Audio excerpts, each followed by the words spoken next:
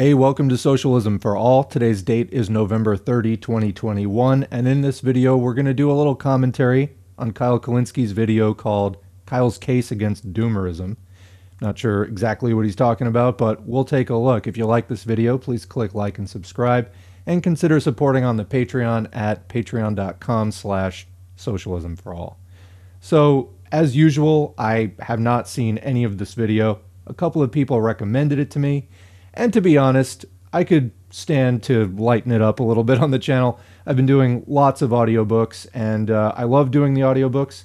And to me, it is the heart of the channel. And I've been trying to actually swing it back in the direction of, you know, the majority of the videos being audiobooks. And in fact, I have a number of readings picked out, kind of an ambitious schedule uh, for the next five or six weeks. Plan to get a lot of good stuff up on the channel. Then I have a, sort of a larger project in mind. I'll probably discuss more about that later. But anyway, it has been a while since we've done any hanging with the SOCDEM gang and, uh, you know, seeing where the differences are on the broader left between socialists, anarchists, and social democrats. So in this case, we've kind of King SOCDEM, Kyle Kulinski of Secular Talk.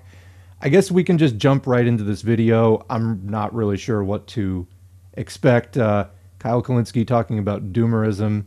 I mean, this guy's whole thing is just, you know, we need to elect better Democrats. To clarify my own position, um, here's where I think that we're at in the U.S. left. In the post 2008 situation, you know, that's now 13 years, so pretty good stretch of time for like the recent past. Economic collapse, people start talking about capitalism again, which for those of you younger may not remember, people didn't even talk about capitalism at all. Prior to 2008, really, it was not very much at all in the US. So you have that. And then I would say that the first step in terms of a mass movement was Occupy. Now, Occupy had a lot of problems, but you saw people coming out in droves to articulate their grievances with the system, to talk about capitalism, and to start to have mass discussions with strangers, with neighbors about, hey, what are we going to do about this. I would say that then step two was the Bernie campaign, which took a lot of the same issues which were articulated during those Occupy years and amplified them and helped to refine them. And, you know, it, it brought it to a larger audience, got it more onto cable TV and all that stuff, really brought a lot of those grievances to everyone around the country and got people realizing, hey, there's a lot of people being affected by this who want change.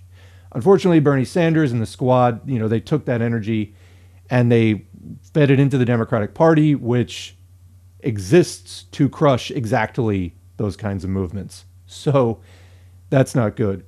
What I say is that step three needs to be the Bernie moment, but this time outside the Democratic Party. We need to have a movement with speakers that can fill stadiums, and we need a coalition of united left groups. And this cannot include the Democratic Party. Uh, you know, groups even like CPUSA advocate for a popular front against fascism, which they try to limit to just the Republican Party. And don't get me wrong, I hate the Republican Party, and I think that, yeah, they're definitely leaning in the direction of fascism in many ways.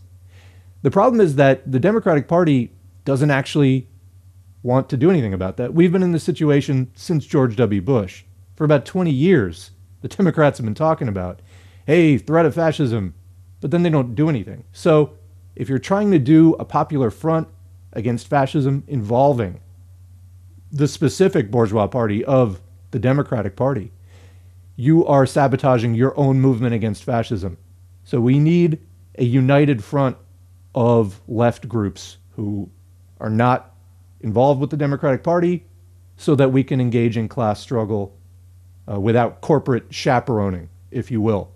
The working class needs to figure out ways that we can effectively engage in class struggle in the 21st century without the control that, you know, you feed things into the Democratic Party, they squash them. They don't let you do anything. So in my opinion, that's what we need to do. Step three is the Bernie movement again, but this time not trying to take over the Democrats, but form an independent left where we can actually maybe get something done. So, you know, whether it's CPUSA or Secular Talk Kyle Kulinski, I do not think that, you know, working with the Democrats, whether you think you're going to change the party or whether you think you're just going to work with them to keep Republicans out, either way, it doesn't work because trying to run people in the Democratic Party, there's a real limit to how much you can do within the party to change them at all. And then, as far as working with them, quote, against fascism, well, what do they do? I mean, they don't actually do anything to stamp out fascism. So you can fantasize all you want about a popular front against fascism. If the party that you're trying to cozy up to, the Democratic Party in this case, isn't actually on board with your anti fascist agenda, well, that's not really going to serve you. However, a variety of left groups are, and we need to finally make this our time. I mean, we have the technology, we need to just stand up, take the spotlight, and all of the various left anti capitalist groups need to come together uh, for the purpose of defeating fascism. From there, you know, how do we remake society if we're successful? You know, the differences between the social democrats and the anarchists and the communists are going to come out at that point. But I do agree that the rising threat of fascism is real and concerning. So let's see where Kyle goes with this. Uh, but I did want to put that out there up front. Here we go. So I want to take a moment here to give everybody my case against doomerism, or what I like to call political nihilism, which is this idea that, well, things are so screwed, things are so messed up, things are so terrible. What's even the point? I'm totally checking out mentally. I'm Dunsky. It's a wrap. Um, and it's almost like they view you as naive if you think there's even a little bit of hope or are trying to strategize to get us to a place where we're we have a better situation. Uh, those are the doomers. Those are the political nihilists.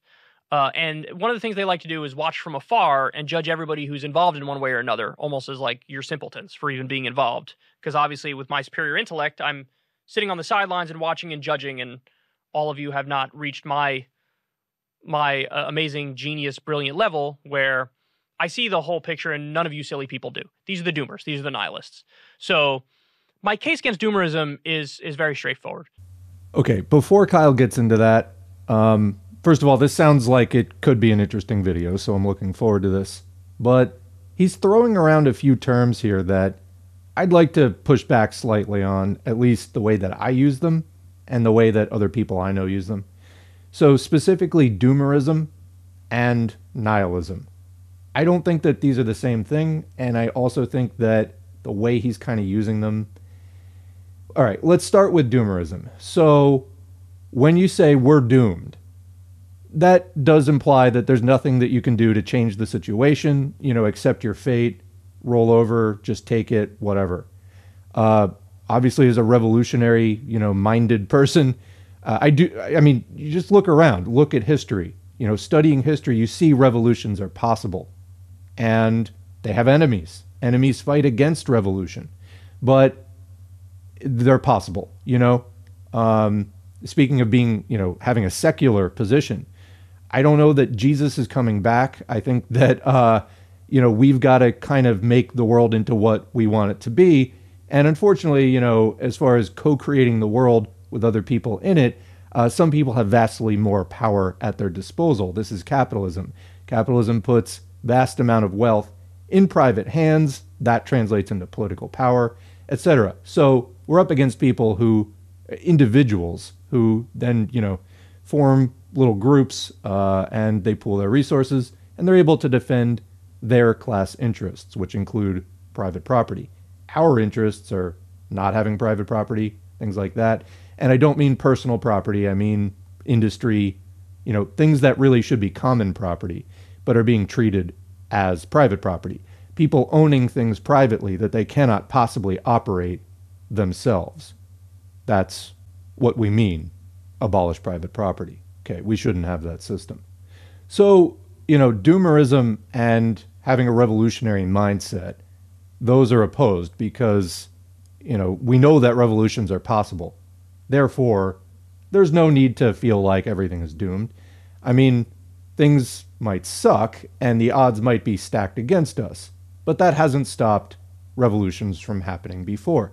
Because, you know, you pick your day. I mean, you wait, you organize, and imperialists have moments of weakness. Then we take advantage of that. We just saw massive uprisings last year that seemed to come out of the blue. I mean, to me, I've said it before, a day that there isn't a mass uprising in the United States, and indeed in many other countries, is a day that doesn't entirely make sense to me. But as Lenin wrote, and I'm paraphrasing, you know, there are years when decades happen and decades when years happen. It just sometimes history becomes unstuck and then a bunch of stuff happens that, you know, the grievances had been building over a long period of time. Just because nothing's happening now doesn't mean that nothing's going to happen tomorrow or next week or next month. History is full of surprise twists. So, you know, these are all arguments against doomerism. We need to study, organize, agitate, educate, and prepare because the moment will come when you just know this is the time to act. And, you know, I wish that those opportunities were more frequent. We work with the world that we have. All right, so that's doomerism for me. Um, about nihilism, I think that Kyle was kind of getting it wrong and using it interchangeably with doomerism. So, to me, the difference is that uh, nihilists are people who believe that maybe existence or human existence or something really fundamental, anyway, to human experience is meaningless and basically comes out of nothingness and nothing really matters. And in a political sense, this usually means people who may have what seems like a revolutionary outlook in that they want to tear down existing structures. But there's not really a positive assertion of what should be built in its place other than just, you know, the people's will or something like that. Obviously, as Marxists, um, we have a pretty specific position of, you know, dismantling capitalism, but then building socialism in its place. So this is not a nihilistic position whatsoever. Um, I would contrast political nihilism which you know just says destroy everything, something will come out of it, um, to doomerism, in that somebody could really have any political outlook and be a doomer. For example, you could be a doomer Marxist, uh, not a very good Marxist, I would say, but you could basically want uh, a socialist revolution, but for one reason or another, convince yourself that it's not possible.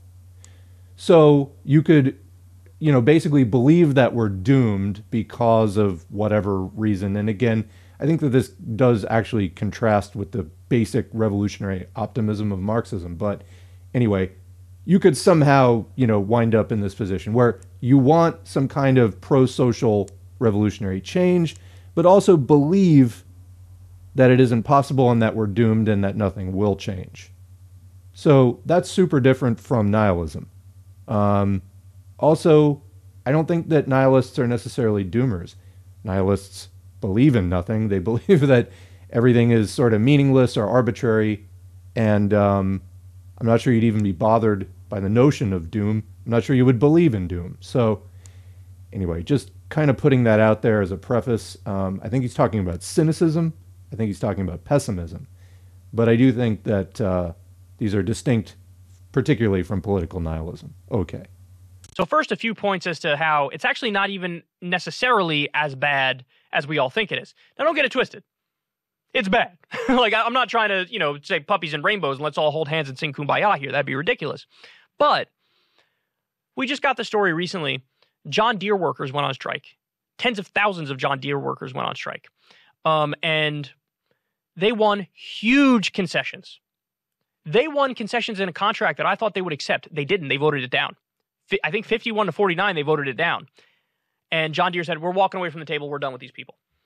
Then a couple days later, they said, Did we say we're walking away? I mean, what happened? Well, me and Craig was down by the Safeway and the sun was in my eyes, and now we're back at the table. Shh.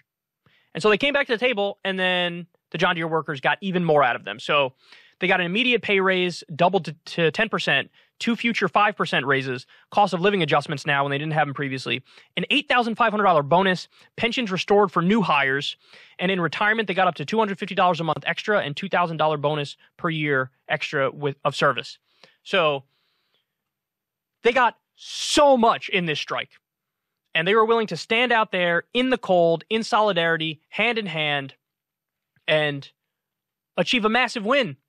A massive win. So this is, for the first time in a long time, a labor union actually notching a tremendous victory. I mean, really, ever since Reagan and onward, labor union. There's been a war on labor unions. They've been playing defense. But as Jonah Furman, the labor reporter, now says, no, no. Now we're witnessing an era. We're, we're seeing a sea change. Now they're going on offense.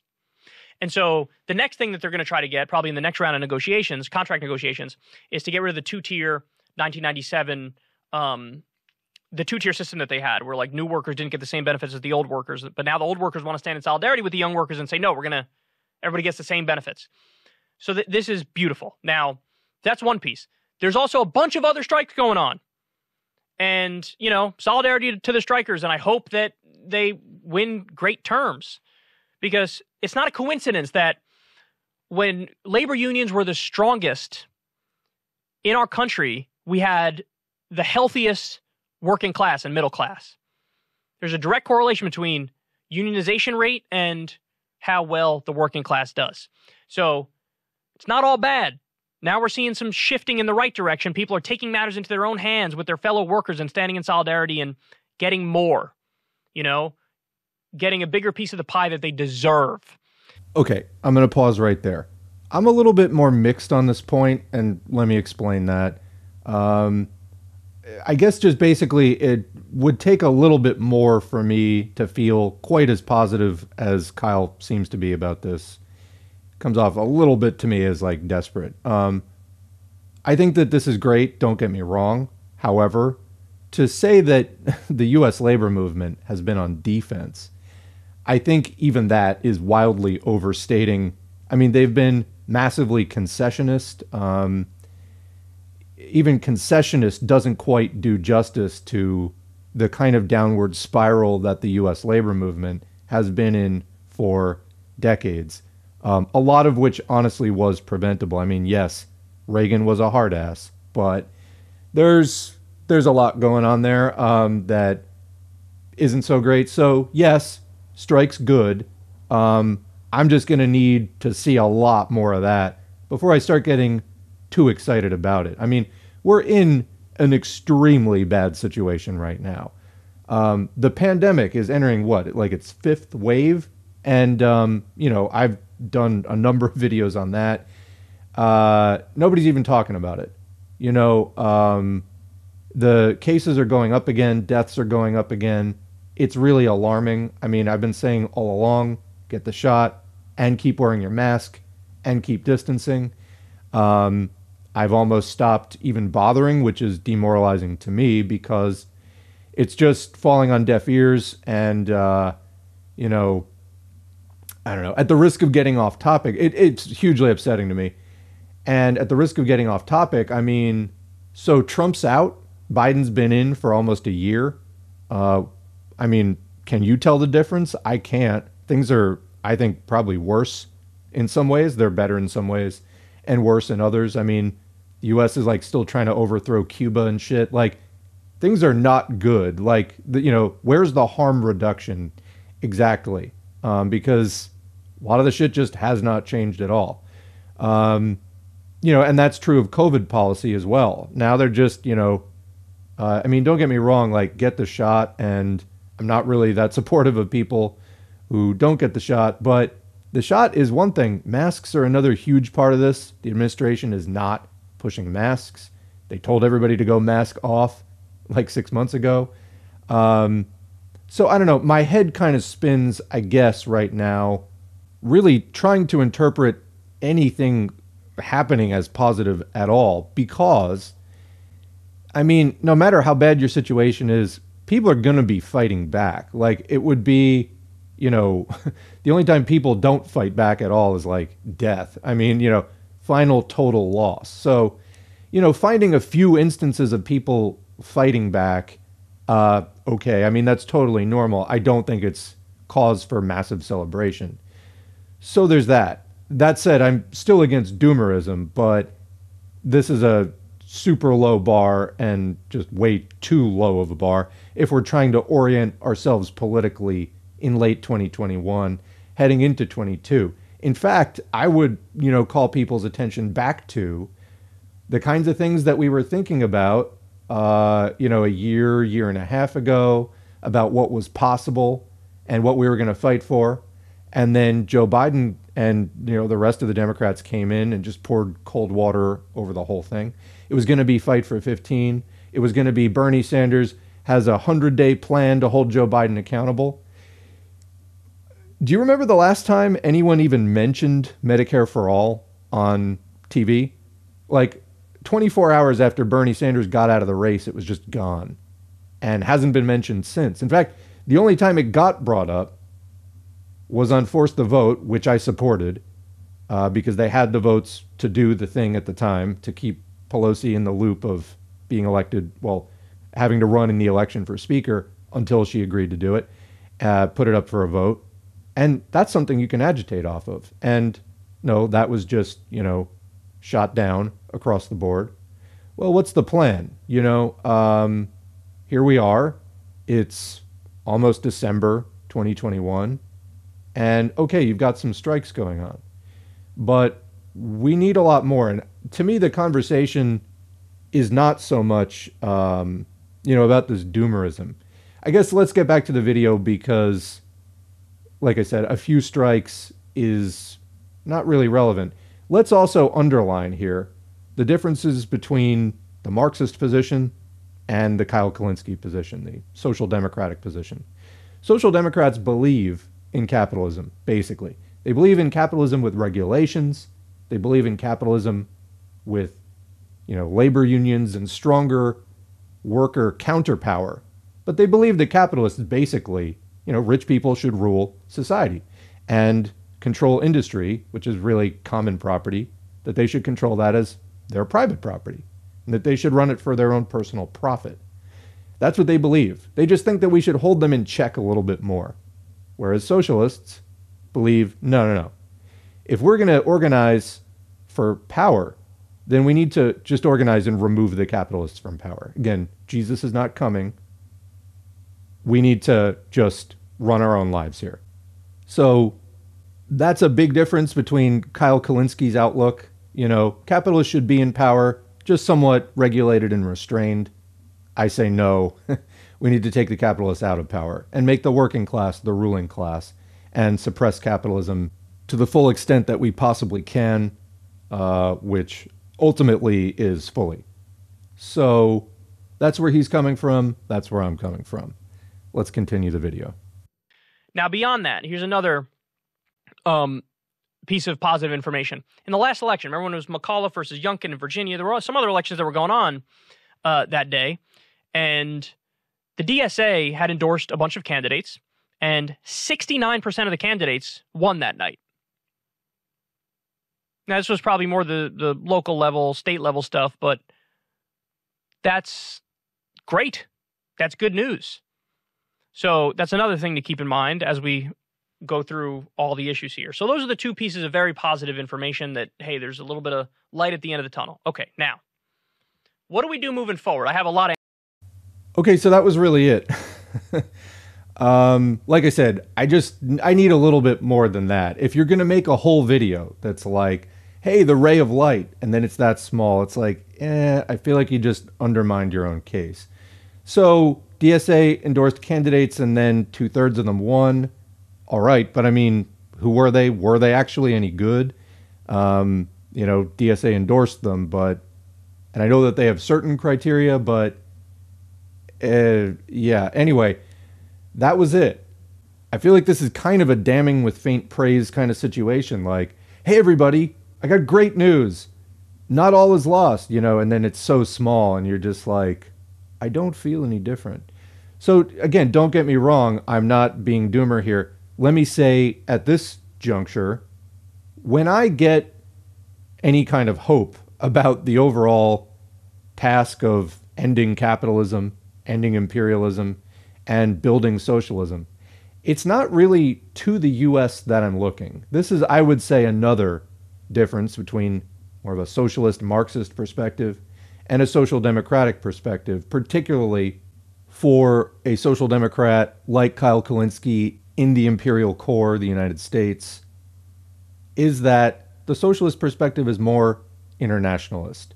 When I get hope, it's from reading the history and current events of what's going on in the developing and exploited countries and how they're resisting because I think that there's more real stuff happening there.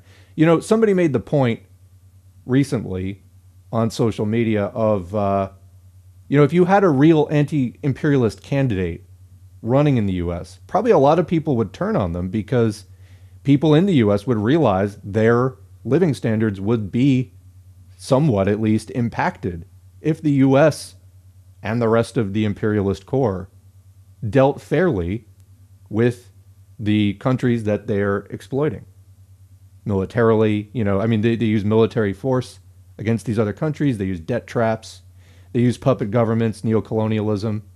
If the US had to deal fairly, things would be more expensive. Now, we would eventually break down capitalism, we would have socialist revolutions, and then we would build a cooperative economy where price wasn't really the issue, you know. Uh, but for the short term, things would be different. And, you know, probably a lot of people wouldn't like and maybe wouldn't support that. Uh, and that has nothing to do with, you know, workers going on strike here in the US to get a pay raise or something like that. And don't get me wrong, people have struggles trying to keep up with, you know, trying to afford a roof over your head and food on your plate. I mean, you know, clothes on your body that aren't tattered and falling apart. Uh, these are real things. But also, you know, pulling it back to the U.S.'s position in the global economy, um, there are some contradictions between the way that, you know, well, the economic set of economic interests of workers in the first world and workers in the developing and exploited countries. So this is a conversation a lot of people don't want to have. Even some supposed parentheses right wing, you know, pseudo Marxists. But definitely a lot of social democrats don't want to go there. DSA, I know, has had problems with their internationalism. So this is another sort of point of contention. We can't just look at struggles going on within the imperialist core. We also have to look at the you know ramifications of the imperialist core versus the rest of the world. So that for me tends to be more of the hopeful scenario is listening to people talk about the US and, you know, hearing their struggles. Before anyone asks, um, Breakthrough News is a channel that I tend to like. Can't endorse everything they do, but I think they have a lot of really interesting interviews. And, you know, if I'm looking for more of a long form news thing, that tends to be one of the places that I go if you're looking for something interesting. Anyway, let's get back to Kyle. Answer to this question. One of the simplest ones is this you have to elect an enforcer to Congress. What's an enforcer? An enforcer is somebody who actually agrees on all the policy stuff that we talk about on this show all the time. But more importantly, not only are they with us on policy, they have that crucial leadership quality that all the lefties in Congress don't have and completely lack. Wait, there are, quote, lefties in the U.S. Congress? What the fuck are you talking about? Also, this is a person who is in deep denial of how the Democratic Party works, because believe me, that's what he's talking about. Kyle has stated many times that he doesn't think that working outside the Democratic Party works. Okay, well, you have basically the option of deluding yourself into thinking you're making some change within the Democratic Party. You are just doing exactly that. You're lying to yourself. Um, and then, you know, you sit around and pull at your hair going, why aren't they doing things? No, no, this is what the Democratic Party allows. Also, you're also looking at somebody who has wanted to be Cenk Uygur for most of his adult life. Try and unsee it.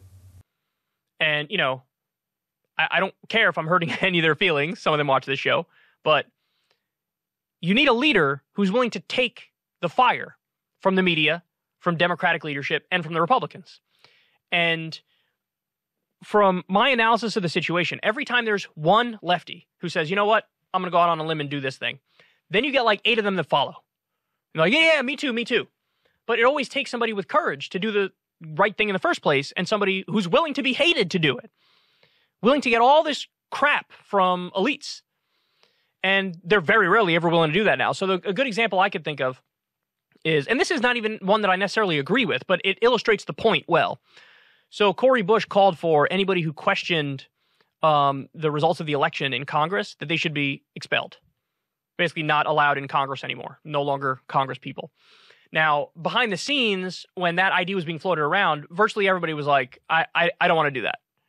It took one person, Cori Bush, to say, actually, I do want to do that. She went out there and made that argument. And then, like, a bunch of other left Congress people were like, yeah, no, yeah, I'm, yeah, I want to jump in front of that parade. I want to lead because Cori Bush had gotten some, like, positive press over that. And so they're like, okay, yeah, now I'm on board with that. And so what we need is an enforcer, somebody who's not only correct on the policy issues, but somebody who's going to lead because here's the thing sometimes you go out on a limb and you do get shit on, not just by Democratic leadership, but also by Republicans and most importantly, the media. And so if we could just get one enforcer in there, you'd be surprised how many people follow when there's a leader. So if there was a leader who gave a press conference, who's a Democratic representative who said, listen, Joe Biden, we were talking about $7 trillion, $6 trillion bill. We compromised to 3.5 trillion. Now you want our vote for a $1.9 trillion bill? Wrong. My hard line is $2 trillion, but hey, you want my vote? Listen, I'm going to make it very simple. Here's a list of our demands. You only get our vote, me and my bloc. You only get our vote if you do these executive orders. Legalize marijuana, change it from Schedule 1 to Schedule 5. Free every federal nonviolent drug offender. Do that right now. Um, eliminate all student loan debt pardon Steven Donziger, pardon Julian Assange, pardon, uh, you know, Edward Snowden, pardon Daniel Hale. Do a, a do a rolling student loan forgiveness executive order where you effectively just implemented free college because you say whatever loans you take out, federal government's going to pay for it. Okay, so what world is this guy living in? You know, they always say that they're going to do things like this when they run. Bernie Sanders said he was going to do all kinds of stuff, then promptly rolled over for his good friend Joe. That's a quote. My good friend Joe. It was like a compulsion. He couldn't stop saying how good of a friend that Joe Biden was to him. They always say this. So it's a nice fantasy that, you know, oh, they would uh, go do these things. Well, why don't they do them? Like, Answer me that, Kyle Kulinski. Why don't they do them?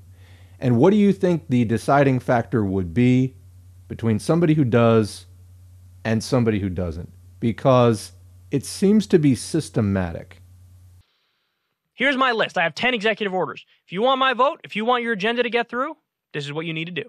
If not, I don't want to hear it. I'm out. Now, if you do that, all of a sudden the media is going to kick into gear. They're going to say, oh, this person's with the Republicans. This person is an obstructionist. This person is an extremist, so on and so forth. And the media will shit on you nonstop. But you know what? The people will actually be with you. And I mean, you also make a name for yourself nationally if you do something like this. But as long as you can, if you have a leader, I guarantee you that person can get a group of seven or eight to follow suit. And then all of a sudden you can block any legislation you want. You can make demands. This is the idea of a left Tea Party. It's what we tried to do with Justice Democrats, but all the people we got in there, none of them are leaders. None of them are leaders. And so they get pushed around and their eyes spit in and they're like, okay, I'm sorry. Yes, sir. May I have another, please? And it's pathetic. So that's one thing. Just one enforcer would change the game in Washington. That- okay. So what is holding it up? Kyle seems to think it is just, you know, personal character I think that it has more to do with the system and how this entire system is run. We need to actually end this entire system. And, you know, again, trying to run your efforts out of a corporate controlled party like the Democratic Party, you're setting yourself up for failure from the start. Any successful uh, movement that has actually deeply challenged or even ended capitalism within you know, certain national borders or whatever, has used a wide variety of struggle tactics, both legal and illegal, to do what they've done. That's just a historical fact. You got this guy trying to play to his reformist audience, talking about all we need is, you know, just the right person with character. That's not really ever how this game has been played. And let me say something else Uh, you know, part of the reason I've backed off a little bit from doing these commentaries is I feel like I wind up saying the exact same things over and over and over again. And at a certain point, I just get tired of saying them. Um, I mean, also, it's like it's already there in the other videos, so I don't know why I need to, you know, keep recording new videos. But part of the social democratic failure uh, when they're conceptualizing what's happening in the world is, you know, Kyle made the point before that yes, unions are a great protection against poverty, and unionized workers do tend to have much better conditions. But you know what? A lot of the U.S. labor movement and all of the vigor of that during its real heyday in the past, you know, uh, the 30s, the 40s, and so on, part of that was due to really legit radicals, as well as the international socialist movement that isn't there in the same way today. Now, we're hoping to rebuild some of that, but the point is that social democrats, such as Mr. Kulinski, often do not recognize the fact that just the existence of the Soviet Union put a huge amount of pressure on the U.S., you know, to acquiesce to some of the wishes of the working class. I mean, obviously, they would crush whatever they could get away with crushing, but it did keep them on their toes significantly. In the same way, within the domestic economy, having even 30% unionization, which is where the private sector union membership peaked. That also, because even if everywhere is not unionized, the non unionized jobs have to compete with the unionized shops. So unions, when they, you know, the more significant a presence they have, uh, it raises the bar for everyone because that becomes the new standard that all the other capitalists have to compete against. Um, so, anyway, just the limitations of this mindset, it, it's frustrating to me, but that's why we do these videos and try to clue more people in on the deficits. Let's get back to the video. That's one point. Okay, next. Direct issue advocacy at the state level, the local level, and the federal level. If you're sitting on the sidelines, I don't know why you are. What issue do you care most about? Legalizing weed? Get involved with direct issue advocacy. Try to get a vote on it in your state to have legalized marijuana if it's not already legal. Um, fill in the blank. Healthcare? You're uh, Medicare for all activists. If you let's say you live in a random state, you live in North Dakota. Okay, let's get a group together, start lobbying to try to get single payer uh, passed in North Dakota. Meet with your representatives. Don't take no for an answer. Find a way direct issue advocacy is super important. And at the state level, they'll meet with you. At the city level, they'll meet with you. So, whatever your issue is, I don't care what it is, get involved. Direct issue advocacy is always helpful. Now, beyond that, and this is kind of the, uh, well, I'll say this before I get to the, the big whomper. The other thing we need to do on the left is build solidarity with fellow lefties and expand the coalition and don't get in the way of good work uh, or naysay from the sidelines. So this is what we've really lost sight of on the left is solidarity. That people might not agree with you on 100% of things doesn't matter. You welcome them in with open arms. You could talk it out among friends and you build that solidarity and don't just sit on the sidelines and lob bombs and act like everybody's stupid because they give a shit and they want to make a change and they're trying even though it's even if it's a long shot. So that building solidarity is important because right now you see there's zero solidarity on the left. Everybody's sniping at everybody else. Everybody hates everybody else. I'm going to pause it there. So I have a number of points to make, but working backwards, maybe we'll jump around. I don't know. But starting with that last point, this is a guy who is barely on the left. And I'm just stating a fact there. This guy is in the rightmost portion of what could be termed the left. I absolutely cannot stand it when basically liberals who are not left try to talk about, oh, the problems with the left. This is one of the things we are, quote, sniping at. You're not even on the fucking left. You speak against socialism. You are for capitalism. Don't give me this shit. Now, going back to the single issue advocacy, I think that that can work. I think that, you know, there's a number of US states which allow for uh, direct, like citizen voting on different referenda, whether it is, you know, uh, legalizing drugs or raising the minimum wage or something like that. There's quite a few states that let you vote on that. And we've actually seen good progress in a lot of those states voting for minimum wage increases and that kind of thing. So that can really work. And yeah, taking up direct issue advocacy rather than, you know, supporting a candidate or a party, yes, that can be important. And I do think that on many issues, it is possible for the broad left and even some people kind of in the center. You know, I mean, the Democrats and Republicans are both so far right. There's a lot of things that neither the Republicans nor the Democrats will ever take action on, but that, you know, because they're too far left of those parties. But even the kind of, uh, you know, people we would not consider left at all would support. And, uh, you know, as far as you can get support on some limited issue, go for it.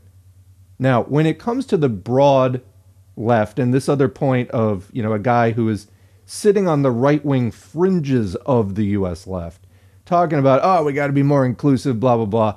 Shut up. I cannot stand that. So let's you know for example i mentioned internationalism a number of times in this video. It has not been really mentioned at all in the kyle portion of this video. Now maybe he's going to get to that. But what we need to do is be significantly more anti imperialist here in the imperialist core. Yes, we need to make sure, like, for example, let's decommodify housing. Let's start, I think housing is one of the key struggles right now. Obviously, Medicare for all as well. But you got to understand the United States and Canada and other settler colonial countries get their shit from stolen resources, basically. And, you know, imperialist countries and their client states are getting stuff at discount rates from exploited countries that they should be paying a lot more for if this were any kind of, you know, fair, you know, the kind of capitalism that social democrats think capitalism is. The prices should be a lot higher. Now, ultimately, we need to do away with that whole system and trade things, you know, without regard to such things. But the point is, for right now, if you just focus on policies which redistribute resources within the imperialist core more evenly, you are completely neglecting the question of how those resources got to, let's say, the United States in the first place. We need to address that on the left.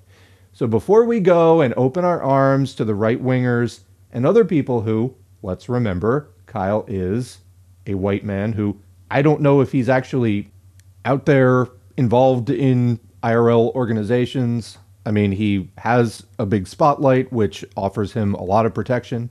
If he needs to defend himself or get a message out, he can hop on the microphone and has almost a million subscribers on YouTube and Twitter and everything else.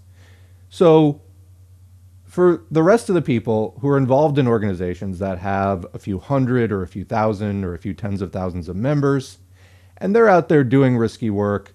Yeah, you can't just take an open arms policy to everyone entering your organization. I don't know exactly who and what he's talking about, you know, and addressing those comments to, but for people again who are barely on the left trying to criticize how the left you know organizes itself and how we vet you know the thing you don't want is for your organization to stand for something, then let in a bunch of people who aren't really interested in those things, and boom, your organization now stands for nothing. Now, we do need organizations that can educate and bring people around to us, you know, to create socialists, point out to people how if you're working class, it's in your rational self interest to become a socialist. But, you know, in the process of doing that, uh, you know, there's also different levels of organization. I mean, there's you know more the inner circle versus the mass party situation. So there's a lot of nuance to this, but you know, just simply sitting there, kind of on the fringe, and trying to police and criticize how quote the left does its thing. Chris Hedges does this constantly, calling people boutique left. Go shove it up your ass. Like seriously, it's just reeks of elitism. And, you know, again, these are people who are barely involved. So that certainly rubs me the wrong way. Uh, this guy's talking about, you know, how electing better Democrats is going to, well, is anything other than a fantasy in the first place. Yeah, I'm not going to take my cues on, you know, how to organize the left from somebody like that. So let's just get that super clear. And he can complain about it all he wants. I don't fucking give a shit. Proceeding. Well, that's going to get us nowhere. Um, but now the big whomper. The reason why it makes sense to never give up, even when the going gets tough, is because there's always the Hail Mary pass that 100% would work. Now, what I mean by that is the big dog. If you could actually get a lefty elected to the presidency, people actually understate how powerful the president of the United States is. It's understated by people because oh, we have checks and balances, and you know, uh, the you have the what are you going to do when the legislative branch butts heads and then the judicial branch overturns your stuff? And I mean, it's just you don't have that much power. You can't do it on your own. Bullshit, you can't do it on your own. So here's a list that I compiled for you. So I honestly can't believe that that's where he went with that. It's just more of this wishful thinking of like elect better Democrats, elect better Democrats, and elect better Democrats to the White House. Boom. That's just people have been saying that forever. That's not a new thought. And yeah, it's a Hail Mary pass because it's just ridiculous. We need mass movements. We need, yes, leaders, but he's ending this with, and just elect somebody to the presidency. Mic drop. I mean, okay, it's just that easy, I guess. I mean, is this the official point where SOCDEMs have run out of ideas? You want to elect people who are going to do the thing that you want without really addressing the issue of capitalism owning the entire system. And then the final piece is and elect them to the presidency. Wow, I'm super glad I stayed up late for this. I mean, I don't know. Does this go over with people? You know, we tried this with Bernie in the Democratic Party, etc. Again, I'm stating it again. United front of left groups coming together in a coalition to recreate the Bernie moment, but outside the Democratic Party. And then we need to engage in every form of class struggle that is going to be effective, whether it's electoral or non electoral. But I'm hearing really nothing here. And this video was supposed to be about doomerism. And you're ending with this wild fantasy of, and then we'll elect a president. Like, have you been paying attention to what Bernie did the last two times? Did you not notice that? I don't know. I, I now like to just get to the end of this video. With help from uh, the American Prospect, David Dayen's um, outlet, where he made a list of, hey, here's all the things the president can do on his or her own. Free every nonviolent drug offender in the country, legalize marijuana, eliminate all student loan debt, pardon Assange, Snowden, Donziger, Daniel Hale, end the wars. You can end all the wars as the commander in chief. Close Guantanamo Bay. You could do free college by doing a rolling student loan debt uh, elimination cut drug prices. You could do that on your own.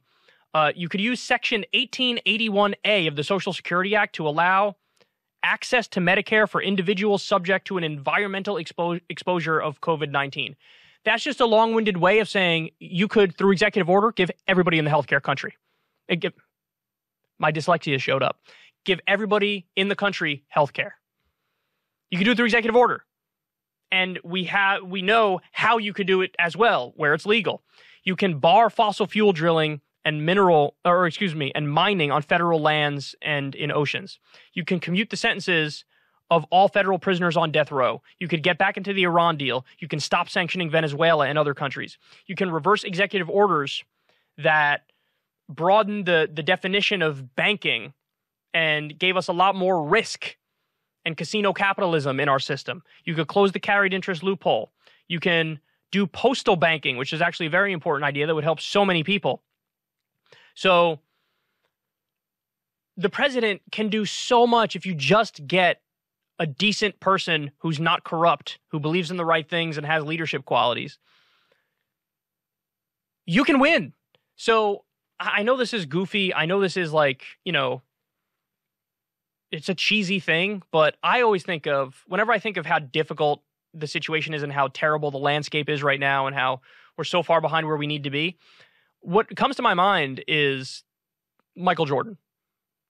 I honestly just can't believe what I'm hearing. I don't know how Kyle doesn't think that this comes off as like desperate and just like fantasy oriented thinking. This is just not the world we're living in. I'm not saying that the list is wrong. I'm not saying that the president doesn't technically have those powers. He's trying to say it's just a matter of like character, completely sidestepping the entire issue of class struggle and the fact that the US government and the entire political system is oriented around maintaining capitalism. And that a president who did those things, I mean, okay, yes, in the process of campaigning, you can rally a mass movement and do XYZ and uh, whatever. Do you think this is going to come out of the Republican Party? No. Do you think that this is going to come out of the Democratic Party? Now, I'm sure that Kyle would say yes because he doesn't believe that you can do anything really to the left of the Democratic Party. So he's basically trying to sell his audience that you're going to get a Democrat who's going to do those things. No, you're not. We need a mass movement slash political coalition, a united front of left groups to take on all of the imperialist establishment. That's the Democratic Party. That's the Republican Party. That's definitely the Libertarian Party. Fuck you, every last libertarian listening to this. And that's whatever other kind of, you know, constitutionalist wingnuts are out there as well in the woodwork. We're witnessing right now a convergence of the far right, a right wing upsurge. They're even trying to pass themselves off as Marxists. Fascism is here. It is sometimes sleeping and sometimes awake, but it's right around the corner to just blasting in your face all day long, uninterrupted. That's where we're at. This motherfucker in his little suit is daydreaming about electing Superman to the presidency. But no, Marxists are the ones who have our head up our asses, apparently. Continuing. And Kobe Bryant and Tiger Woods and like the greatest athletes of all time. Because the thing that made them so great is that when the pressure ramped up, that's when they they raised the, their level. Like MJ had a higher, he had more points in the playoffs than he did in the regular season, and even the later it would go in the playoffs, I think his his average went up. So, in other words, when the pressure's on, when it gets harder, they get even better. And unfortunately, what you see a lot on the left is like, as soon as it gets hard, people are like, ah, fuck it, I give up. We're done here. Or they want to immediately start from scratch. Like, okay, something's a little off here, so let's go right back to the drawing board and forget absolutely everything we've built up to this point. You can't, don't reinvent the wheel. You know, you, you go down in the trenches and, and you dig it out of the dirt. Like, you work hard, work harder. And so Okay, so somebody who has this guy's ear, please teach him terms like opportunism and social chauvinism and just really have him read a bunch of stuff about how imperialism works. Because for a guy who makes his living talking about this Monday through Friday on a, you know, full-time basis, he seems to genuinely not understand why people like AOC or whoever else in the squad or Bernie Sanders don't follow through on what they're doing or you know what they say they're going to be doing. Their job is to lead people into the Democratic Party. I was willing to give Bernie Sanders a chance because he wasn't a Democrat of you know this kind of gate crashing thing. We're going to take over the Democratic Party. Okay, great except then he didn't. Okay, well, you know, chances revoked, and we're going back to the Democratic Party has always obstructed any genuine progress that's pretty much its reason for existing, actually. But Kyle Kulinski seems confused about the dynamics as well as the history. I mean, Europe went through this as well. If you read, for example, the history of the Second International, uh, you know, there's plenty of cases of quote unquote socialists going over to their national bourgeoisie and supporting them in wars, which are basically just wars to enrich themselves and to start colonies across the world. I mean, these are the politics we're talking about. They don't really care about the working class, let alone the global working class. So, anyway, he's using, you know, Tiger Woods metaphor. What the fuck are you on? This is your job. You're a political commentator. I mean, all right, moving on. I think of the greats whenever I look at our barren wasteland of political landscape here, and that's something that gives me, uh, you know, the strength to keep going. If if anything, I know it sounds weird, but it's almost like you view it as an opportunity. Oh, you're making it harder for me. Great. Time to work even harder and eventually kick your ass. That's the gist of it.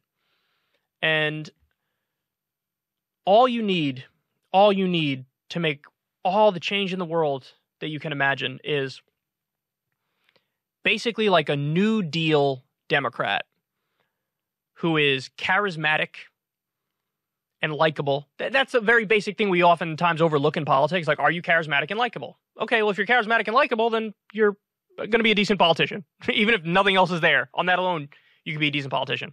Okay, I have multiple multiple problems with this. So, first of all, this is more of the social democratic and specifically Kyle Kulinski, not to tar every last socdem with this particular brush, but the total lack of understanding the historical context of where the US New Deal came from.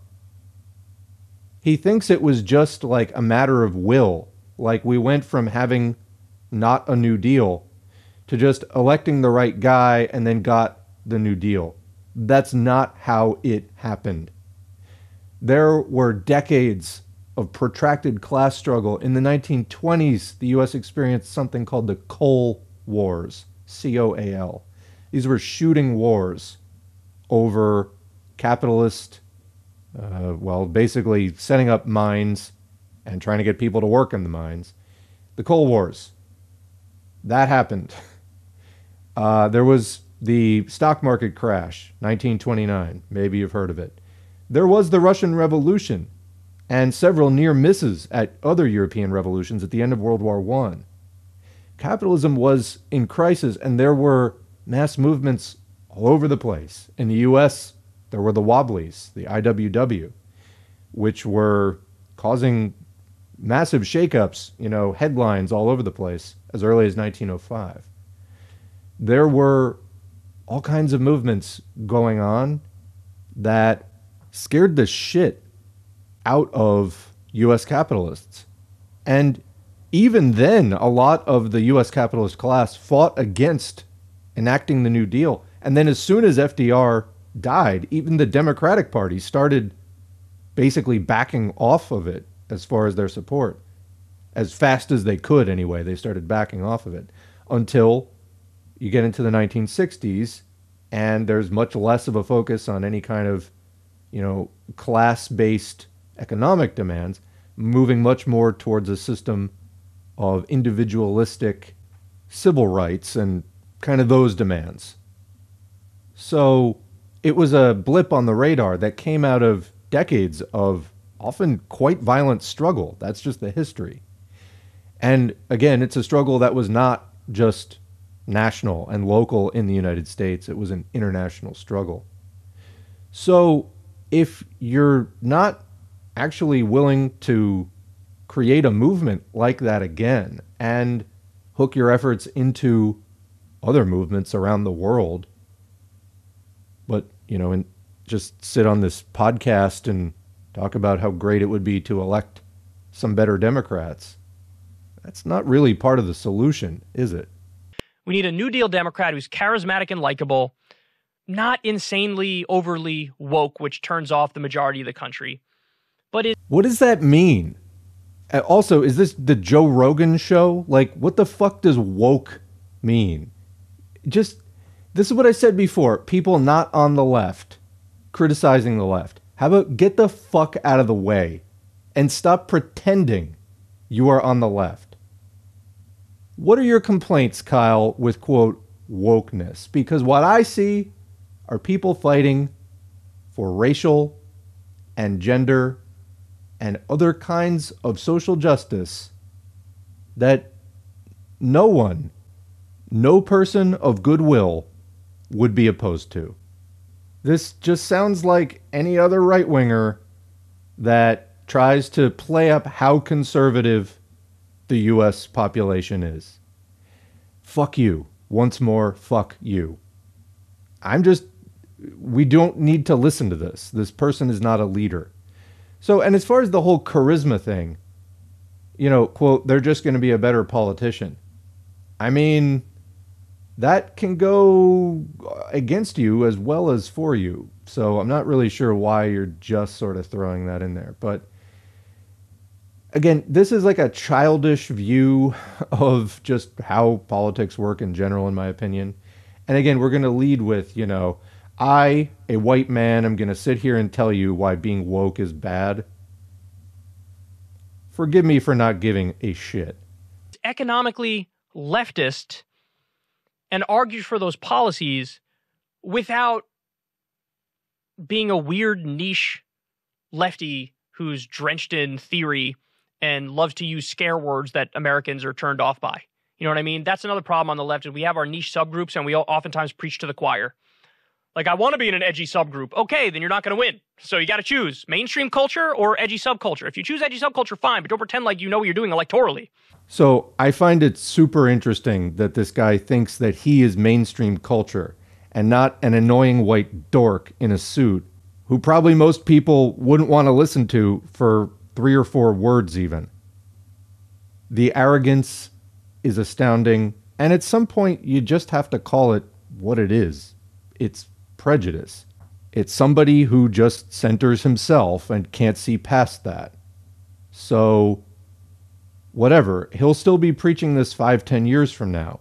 And it will still be as much of a failure of an idea then as it is now. The rest of us keep organizing. Join the quote niche organizations.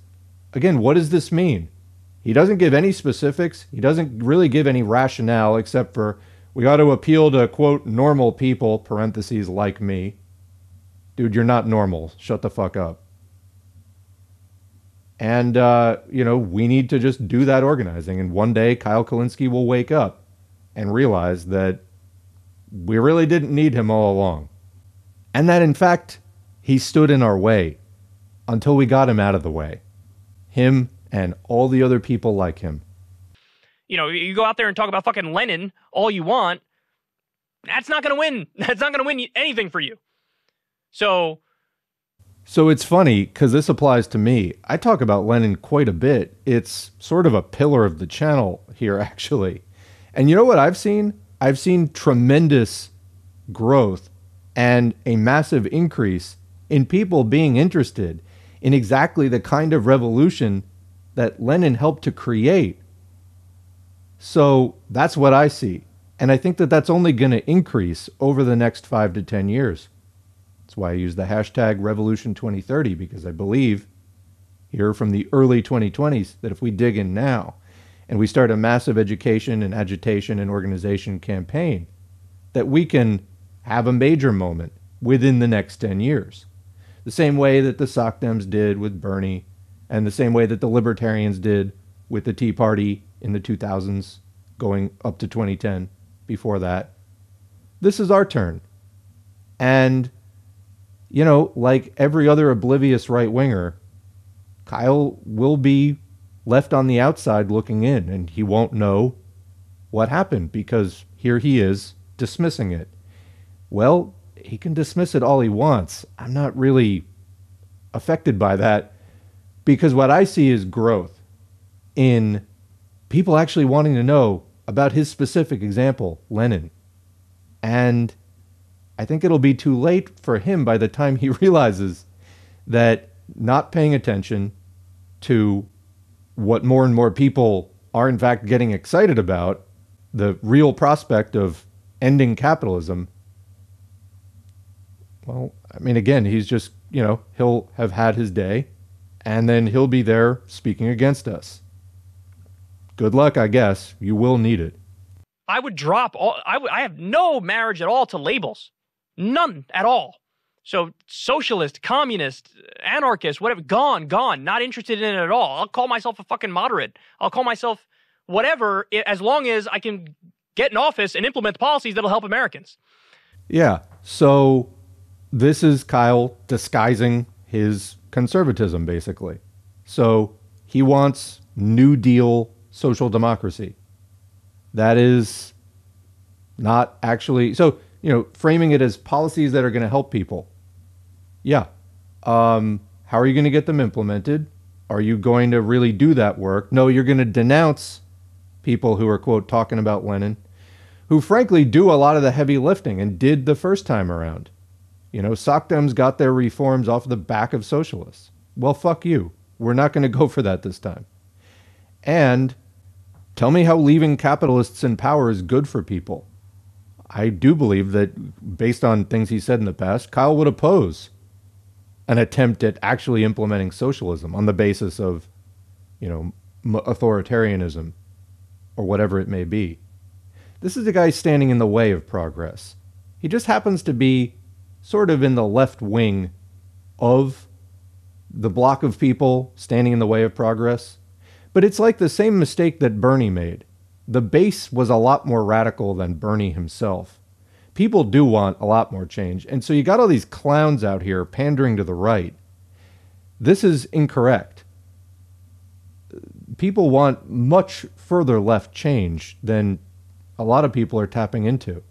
Well, that's their mistake. I'm not going to take it personally because, I mean, while it would be nice to have more people rallying folks on that basis, I hate the word folks, it just seemed to fit. Anyway, folks, it's like my pseudo populist side for you all. Anyway, uh, you know, while it's nice to see larger channels and you know media outlets organizing around more of the correct lines and not being afraid to use terms that most of the world is totally fine with, you know, and that the socialism phobic United States really needs to fucking get over, to be honest. Well, anyway, those of us who aren't afraid to rally and organize people, we will do that. And we will rally and organize people. And these people coming out to cast doubt on those efforts, you can be sure that the it's not about that they don't want to win. It's that they're closet right wingers who don't want that much change. Every time somebody comes out and says, but we gotta win, whether it's in support of socialist patriotism or whatever it is, and you know socialist patriotism in a country like the United States not doable for a number of reasons. We've discussed this in the past. Anyway, no matter what it is, all on the basis of, but we got to win. And that's always about playing to conservatives, that whole we got to win argument. You know, basically just pretending that whatever conservative people think is socialism. You're not making conservatism better, you're making socialism worse and just stop. But anyway, there are those of us sticking to some kind of socialist principles in this process, and we are growing and we are helping to build a movement as more and more people do get educated about these things and overcome their Cold War programming and generations of lies. I think it's really lazy to say that we're not going to challenge that, but we need to win Eh, you're not winning though. You're actually by lowering the bar, you're losing by default. Let's move on. So I would drop the edgy lefty aesthetic, look super mainstream, be charismatic and likable, don't be overly woke, and just go all in on economic leftism and improving everybody's life and pushing for those policies. And then if you win that White House, you can make all the change in the world like that. Boom. It is that easy, folks this fucking infomercial looking motherfucker if you are buying what he's selling, first of all, spot the difference between what he just said and what Caleb Maupin says. Time's up. The difference is nothing. You heard it. Get clean for Gene, put on a suit, you know, get like a military regulation haircut.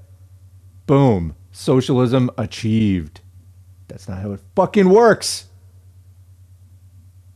Anyway, clowns. I don't know what else to say. This is clownery. This is buffoonery. Let us, the rest of us, I guess, finish the last minute of this video and then return to something more productive. So, there. Point is, you can never give up. We don't have the luxury of giving up. And by the way, that's exactly what the establishment wants. They want you to give up. They want you to uh, be a nihilist and lob bombs from the sidelines at your fellow lefties. They want you to do that. They honestly, they want you to waste your time with something that can't even get off the ground, like a like a third party where you don't even have ballot access. They want you to do that. Yeah, go ahead. Waste all your energy over there where you're never going to move even three inches in the right direction. And great, wonderful. And you guys fight amongst yourselves, and we'll keep rigging the system and winning every time literally what happened with Bernie Sanders. You had a guy who was filling stadiums, had tens of millions of people supporting him.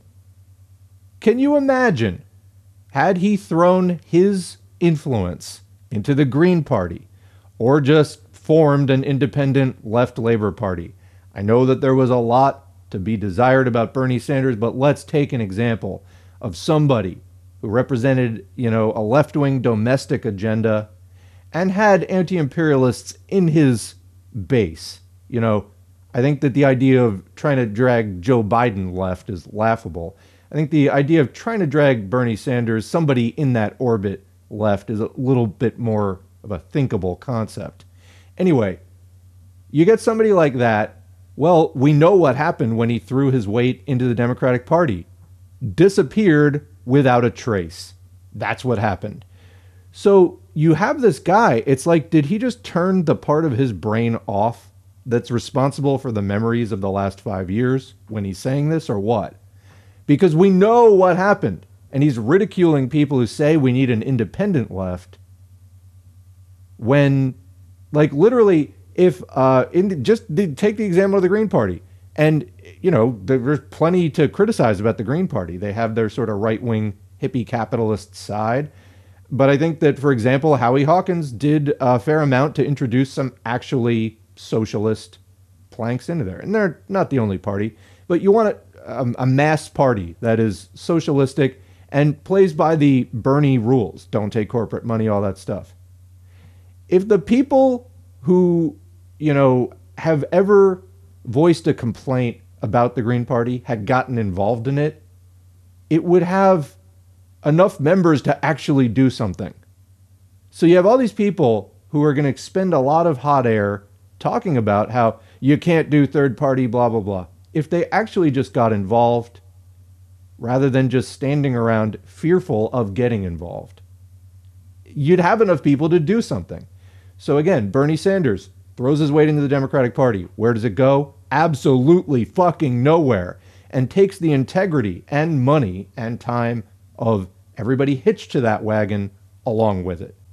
Great. So where are we now? But again, imagine if that had gone into an independent, non corporate controlled party. Would we be able to do something that would have a chance of fighting the way that the working class wants, not the controllers of the Democratic Party and the way that they want? Yeah, you would. You would. So we had a chance to do that, and it didn't get done. Again, this was just blatant sheepdogging by Bernie Sanders. Well, it's doable. It's been done in other countries around the world. These are lies. I don't know what else to say. These are lies. If you want something independent to come into existence, fucking join it or organize it. But it's a matter of getting involved. You know, I think a lot of people don't understand what getting involved in an organization really is about. If you don't build it, it doesn't happen. That's how it works. So, you know, this whole uh, third parties can't do anything. I agree that third parties I mean, even the term, it's it's like a third party is, uh, you know, sort of a bystander in something.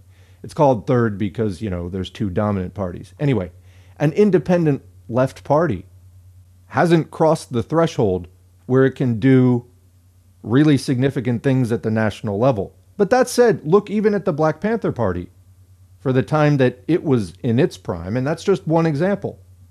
You can make massive regional waves and make your way, you know, have enough of an impact that you make your way into many history books. It's doable, but people have to stop talking about it and actually fucking do it. This guy is never going to lead you in that direction. He's going to give you daydreams about electing, you know, Tiger Woods to the presidency. I'm sorry, the political Tiger Woods. Anyway, you make your choice. Uh, I can't make it for you. So I don't want to give them what they want ever. I want to be their worst nightmare. And what I outlined here are some of the ways in which we can be their worst nightmare. Trust me, Kyle, you are never going to be their worst nightmare ever. In fact, you will try to shit on the heads of people who would be. So don't let the doomerism get you. Don't let the political nihilism get to you. And the final point I'll make is this everybody feels it from time to time, of course. On my bad days, I feel like it. Everybody does. Ah, it's useless. Ah, what are we doing? Ah, we're wasting time. Ah, we're not getting anywhere. All that stuff. And the reason why it's so appealing is because it's rational and logical in many respects. But again, it's what they want. And I say, fuck them. And I say, you're going to make it harder for me? Great. It's an opportunity. Now I'll eventually kick your ass and I'll get there. So you should rededicate yourself when the going gets tough. And what I gave you is a little bit of an outline here.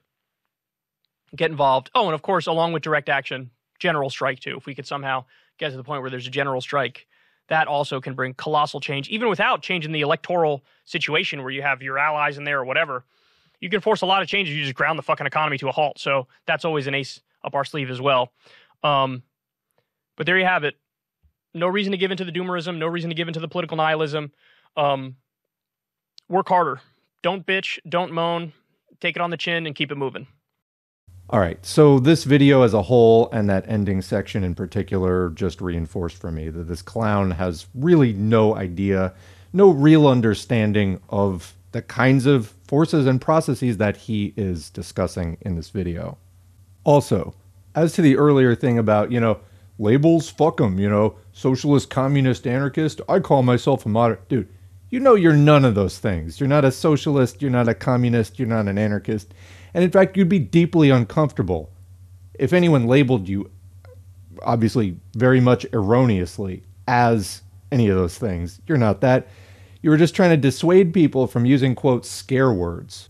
If we can't talk to people honestly about socialism, Marxism, communism, while using the words socialism, communism, Marxism, you're basically thinking that you're going to trick people into supporting socialism. We have to actually talk about these concepts openly.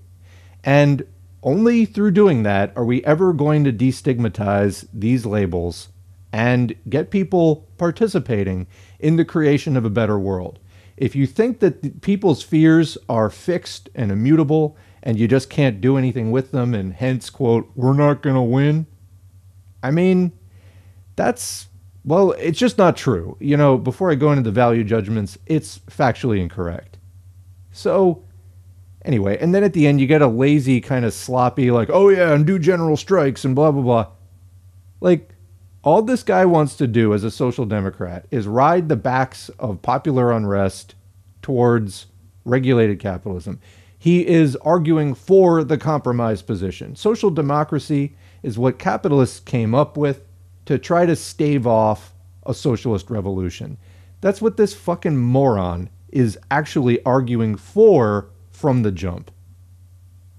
That's not a position we would take. Anyway, what position would you take? I'm going to end it here. Leave a comment in the discussion below, or, you know, talk about anything else you want to talk about. Hopefully, somewhat, you know, on topic for the video and all that. Otherwise, maybe you can find the correct video. But anyway, thanks for listening. Thanks to the current patrons whose names are on the screen. If you'd like to get your name on the screen, head to patreon.com slash socialism for all. You can sign up for as little as $2 a month. Every donation is encouraging. Really thank you all for that as well as uh, being materially helpful. If you'd like to help out without making a donation, like, share, subscribe, click the notifications bell, and leave a comment, even if it's just good video or thanks. All that helps to boost the channel and the videos in the algorithm, especially sharing it. That uh, puts it in front of potentially large new audiences. So thanks for all of that work. Otherwise, join an organization if there is a good one in your area because you know that the Kyle Kulinskis have what they're doing. And we need to get out there to counter some of that. Otherwise, they're going to end up sort of the default leaders of this whole thing. And some kind of change is coming, whether it is fascism, whether it is social democracy, whatever it is. Some would argue that they are, in many respects, one and the same. Anyway, we'll end it here. Thanks again, and we'll catch you in the next video.